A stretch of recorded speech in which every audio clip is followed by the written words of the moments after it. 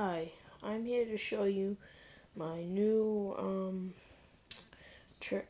HPI Racing X Savage with an upgraded 4.2 4.6 motor, wheelie bar, custom purple axles, and all customized painted bodies. And I have some nice swamp tires on it. They're really big. They're like sick. And I have some I have a wheelie bar in the back, and I have, you know, the wheelie bar, and then I have the custom purple axles also in the front.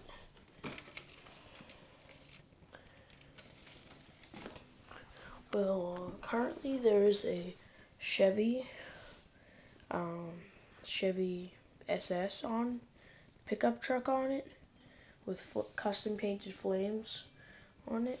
It's really nice. And yeah.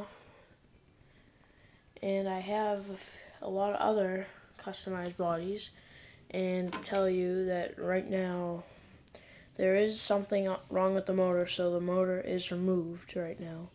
We broke the pull start trying to start it. It flipped out. Whipped out us. Okay, I'm going to show you some other bodies that I have. I got a Mustang GT. It's nice, yeah. I got a an old Chevy. It's really nice, customized with like tricked out tinted windows and stuff. It's nice, and, and the license plate says Grave Robber. Kind of like Gravedigger. I like Gravedigger's body a little better, but this one's still really nice. And then next, I have a Chevy 1970 454 El Camino. It is really nice. I'm a big fan of this. I really like this.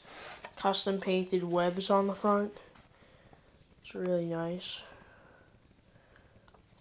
It has pickup, all customized.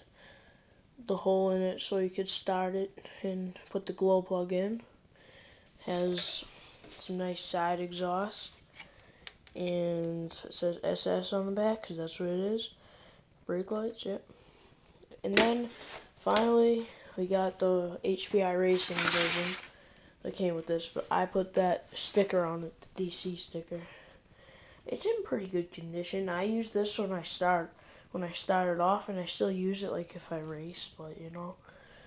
It's pretty cool. Put the DC on it.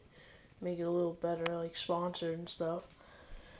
And there it is. It says X Savage. Nice screened out windows and tinted. Yeah. As you can see before I had the wheelie bar on it.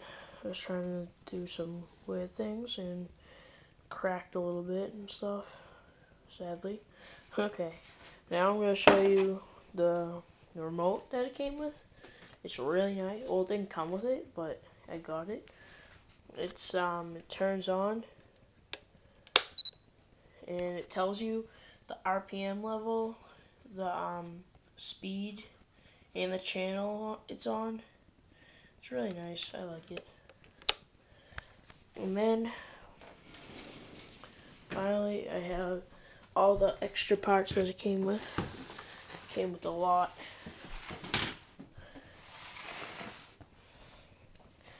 I have not tried out all these wheels yet, but I am hoping to. And I cannot wait when I get this thing started. I'm going to go do some racing and stuff. It's cool. I really like these um, racing tires really nice custom purple bearing in there. Nice sand treads, yeah. And here's the HPI Racing ones that it came with. Now, this truck can go 70 miles an hour with these wheels on it, and with those, it can probably go 80. So it's really nice. And then I just put these together yesterday. They're just the regular, just snow tires, I think. I don't know.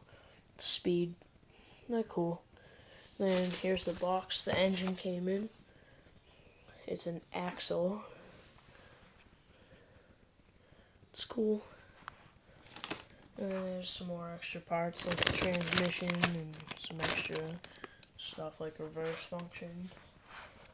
And, well, I guess I will see you guys later. Please subscribe and rate this video.